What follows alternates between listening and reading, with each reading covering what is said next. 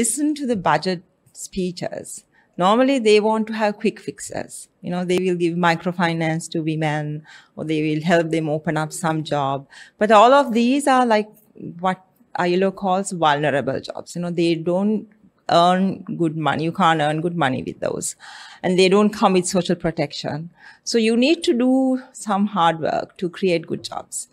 And when I say that, you know, what you need to do is really invest in industries that will create decent work. And you need to also know the composition of your labor force.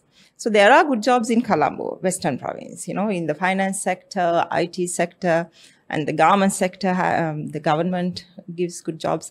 But you need to be educated. You need to have a tertiary level education to access a lot of those jobs. So 60% of the um, people are living outside of Western province and they are low skills. So really you need to target jobs for those people. You know, invest in agricultural productivity or improving manufacture industry